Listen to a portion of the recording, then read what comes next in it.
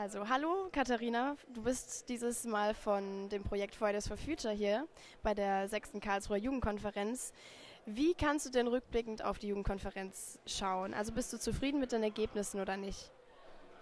Also es war auf jeden Fall schön, nochmal, also überhaupt über Fridays for Future zu diskutieren und auch mit ähm, höheren Posten quasi und dort unsere Anliegen vorzubringen. Ähm, wir haben auch schon ähm, jetzt mit mit den ähm, Politikern und Politikerinnen darüber geredet, ähm, über Konsequenzen an Schulen ähm, und wie man das, dass man da einen Konsens treffen muss von allen Rektoren und Rektorinnen. Ähm, dann haben wir darüber geredet, dass generell mehr Transparenz ähm, entstehen muss. Also das, was zum Beispiel hier im Stadtrat schon diskutiert wird über Klimawandel, dass es auch viel über an die Schülerinnen und Schüler rauskommt. Und da ähm, wollen wir jetzt so eine Art äh, schaffen, dass ähm, darüber, dass die Schüler mehr, mehr ähm, erfahren.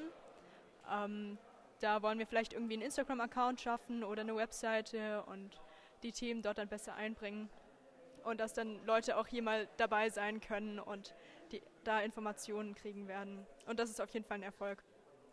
Also bist du generell mit den Ergebnissen und auch mit den äh, Patenfindungen zufrieden? Das auf jeden Fall. Es könnte noch es könnte noch mehr sein, aber ein kleiner Anfang ist immer gut. Wer ist denn jetzt bei euch persönlich Pate geworden? Also vielleicht ein, zwei Personen. Ich glaube, es sind mehrere gewesen bei euch. Also ich glaube, der ähm, Bildungsbürgermeister, ähm, ich weiß jetzt seinen Namen nicht genau, aber genau, der. ähm, und der will uns da unterstützen, dass da mehr Transparenz entsteht und das ist auf jeden Fall schön.